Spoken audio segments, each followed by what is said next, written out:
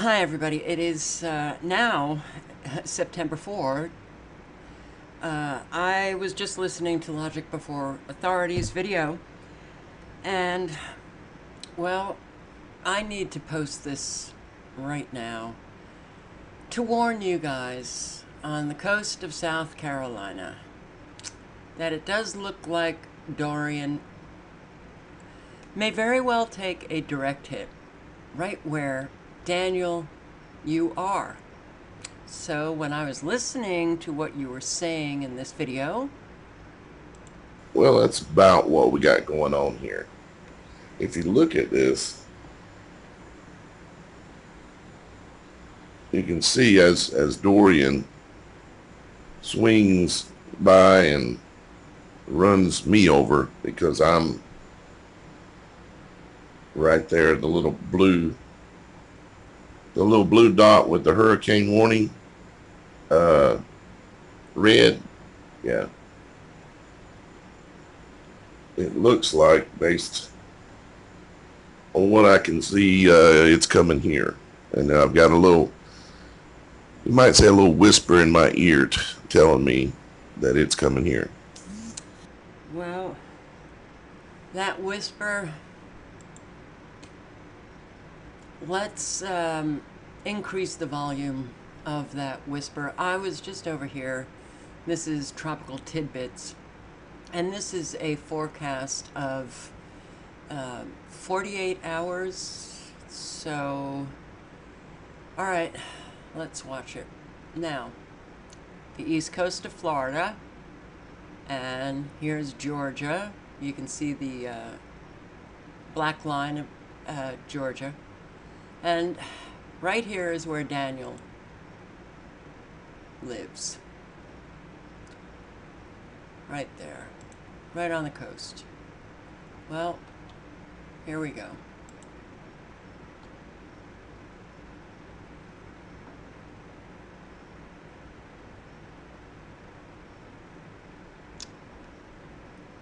Yeah. It's going through uh, quite a lot of hours here. But I was watching another video that somebody posted, and I think they were saying that Dorian is going to be coming back. So I put it on. Oh. Yep. Here we go. Another hurricane hitting South Carolina? Or did it do the full loop? It did the full loop. I'm sorry. Uh, that video that I was watching with another hurricane hitting South Carolina, I don't, um, I can't get tropical tidbits to go out that far. So, it's ending its loop. That was 306 hours. But this is literally hitting South Carolina. And that was, uh, let's see, Meanwhile, it is a crisis all over California. Wildfire insurance Sorry. policies. That was not supposed to play. Um, 54, so one more back, 48. Yeah. It's right smack. Uh, the eye is just off the coast. Doesn't look good. Does not look good for Daniel. So, why don't we circulate this video for all of those on the coast of South Carolina, as well, you know, Savannah, Georgia, and uh, North Carolina.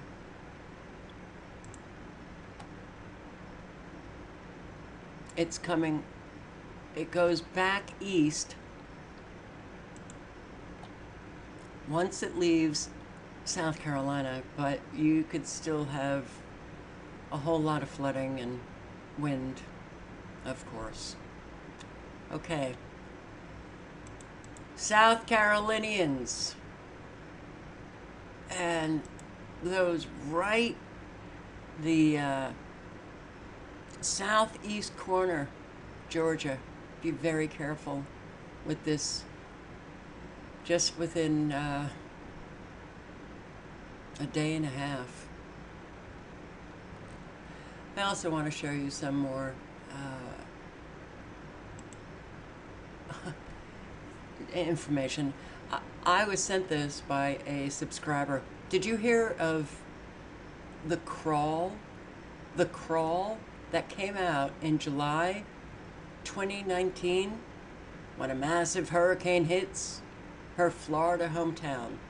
Haley ignores evacuation orders to search for her missing father, finding him gravely injured in a crawl space.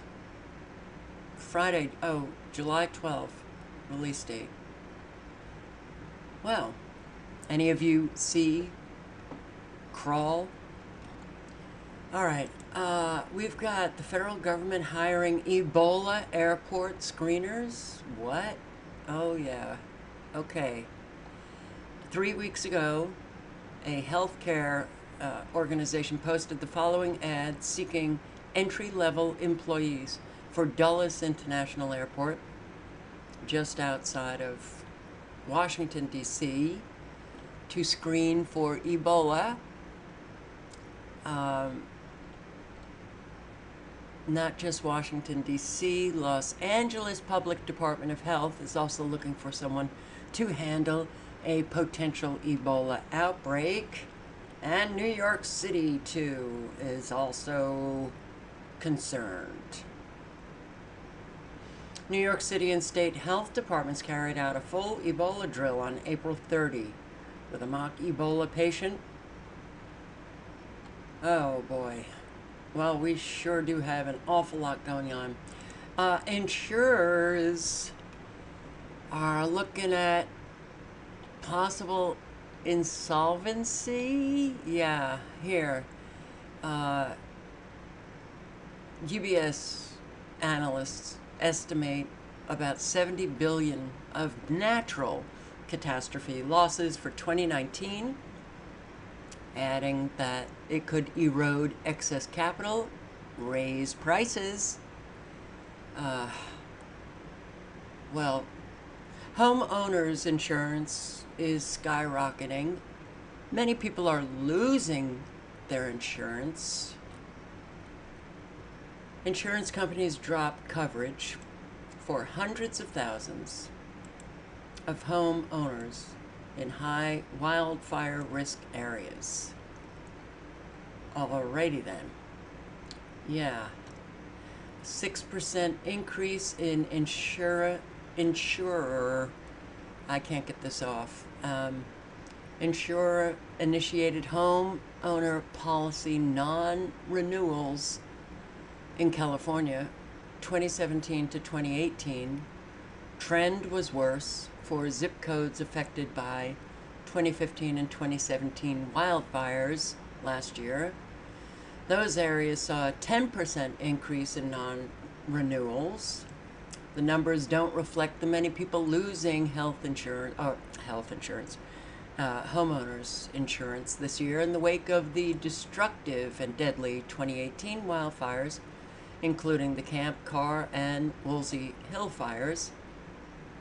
So, homeowners, uh, Laura and Charlie Callahan, earlier this year, their insurance company notified them that they were canceling their coverage after 20 years of coverage. And now Laura said that she is paying four times as much. It's gone from less than 1000 a year to almost 4000 a year. And we're on a fixed income. Uh, her husband's retired. She's retiring. It wasn't something we expected. And she knows of other people in her community, El Dorado County, who are paying more for their homeowners insurance that than they are uh, for their mortgages. There's a whole slew of articles on this. How many people are losing homeowners insurance because of wildfires? Well, nearly 350,000 California residents dropped by insurers. Uh, California Globe recently talked with residents of Chico who are experiencing this latest crisis following deadly fires. Homeowners insurance is also becoming a huge problem with existing homeowners. They're canceling insurance out of the blue. Uh, reported was many others whose homes were not burned down. They're being notified of cancellations as insurance companies are telling customers they no longer offer insurance in wildfire areas. Insurance plan, uh, even with an insurance plan that had a $65,000 deductible, whoa. Another resident of Chico told California Globe he received homeowners insurance quotes as high as 9000 per month. Woof! Well, hey, make America great again. So many people. What ha- what then happens? You know, uh, it creates a whole lot of chaos. Not being able to find insurance, you then in turn can't sell your home. If you can't sell your home, then it affects the local property taxes. It creates chaos. Consumer Watchdog uh, sent Mr. Lara, who is the insurance commissioner in California, uh, an open letter on Tuesday calling for the commissioner to stop what were described as excessive rate hikes or the loss of insurance altogether. Okay, flood insurance, is, the premiums are skyrocketing. Uh, you won't be able to get flood insurance at some point. Well, we'll. I posted a video on FEMA. There are changes that well, we won't know the details until April 2020, when FEMA finally announces those changes that will take effect October 2020. Look at this hurricane. Ah, well. Uh, it's going to get to the point, and it may be 2020, that homeowners, if you don't elevate your home, you guys in the fire prone areas, if you don't fireproof your home, all of which is going to cost you a whole lot of money, you won't get insurance. That's my prediction.